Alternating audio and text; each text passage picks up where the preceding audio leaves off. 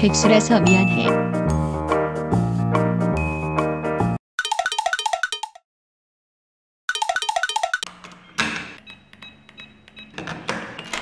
딸, 엄마 왔어.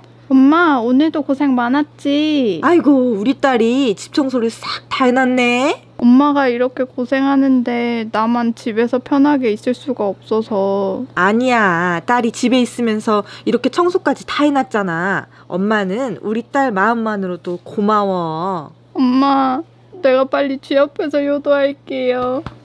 너무 조급해하지 마, 우리 딸. 힘내. 엄마. 고고고고고고고. 하루빨리 취업해서 효도하고 싶은 마음. 대한민국 취준생 모두 화이팅! 가시기 전에 구독 꾹, 좋아요 꾹 잊지 마세요. 행복한가?